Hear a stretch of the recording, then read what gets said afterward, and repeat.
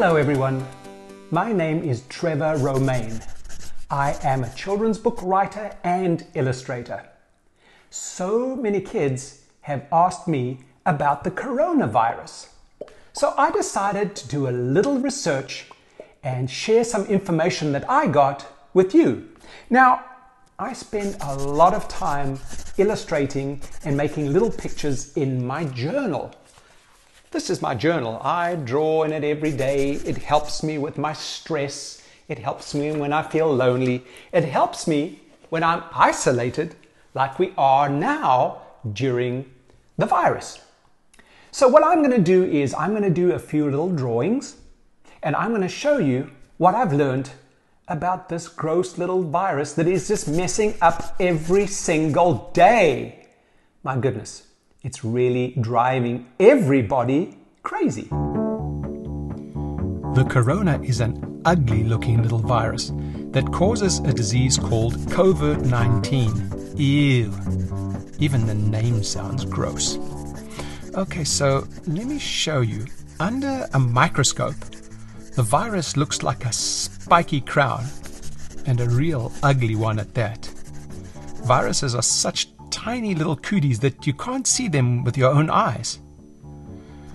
This unfriendly little thing has caused most people to stay at home from school and work, and it's even stopped kids from going to their favorite places. The reason we have to stay at home for a little while is to stop people from passing the virus on to each other. The more we stay away from each other, the quicker we can get back to normal. I'll draw you an example of just how being close to people who have the virus can make it spread blinking jolly quick. Let's see. This is called isolation, which means staying at home and keeping away from people who may be infected. Sometimes people have the virus and they don't even know they're spreading it. I know it's a pain to be stuck at home, but it's a very good way to keep families protected. The virus can give people a fever, dry eyes, an itchy cough, and sometimes people find it hard to breathe. You know, some people can stay at home to get better, but some people need to go to the hospital.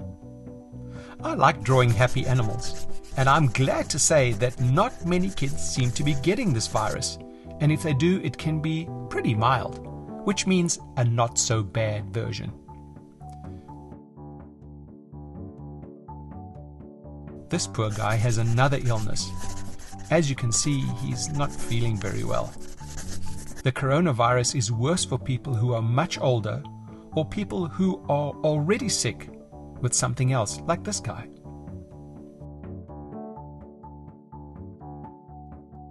The adults in your life know that if anyone in your family feels sick and thinks it's the coronavirus, they can call a doctor for help. Yes, even bears can use cell phones these days.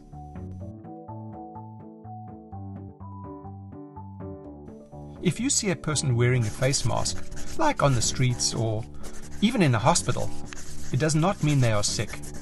They may be protecting themselves and their family. Or, if they've been around a sick person, wearing a mask will help them to keep the virus from spreading. Ugh, this is not my best drawing. Looks like this dude is a bank robber. Okay, for all of us to stay healthy and not to spread this nasty little booger, we need to wash our hands with soap and water often, at least for 20 seconds. Hey, sing a song like Happy Birthday or the alphabet song while washing. Wash after you've used the restroom or been in a place like a grocery store. Sneeze or cough into your elbows. Doctors tell people to do this because blocking the little droplets that spray out of our mouths and noses when we sneeze or cough is how we stop a sickness from getting into the air. We also need to avoid touching our faces. As my mommy always used to say, if you don't like your face, don't pick on your nose. It's normal to be afraid of things we don't quite understand but I am happy to say there are tons of grown ups out there who can help you if you have the virus or if you're worried or upset. Please talk to your family if you're stressed about this virus. Other people can help too, like doctors and nurses and teachers and medical specialists, and your friends.